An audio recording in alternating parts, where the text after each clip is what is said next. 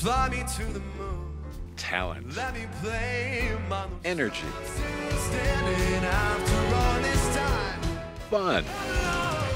Ethan Bortnick in concert, October 24th at the Gordon Center in Owings Mills.